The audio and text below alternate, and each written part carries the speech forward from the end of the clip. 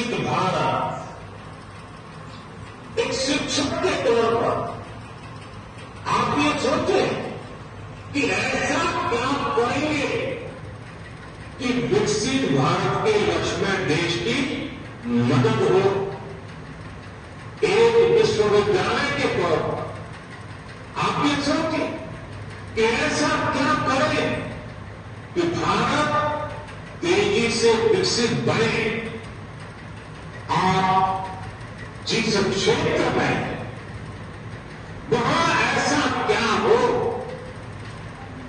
किस तरह हो कि भारत विकसित बनने के अपने मार्ग में तेज़ी से आगे बढ़े।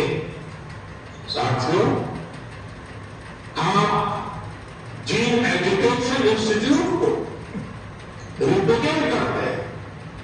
वहाँ आपको देश की युवा ऊर्जा को इस एक लक्ष्य के लिए जनरेट करना। है आपके संस्थानों में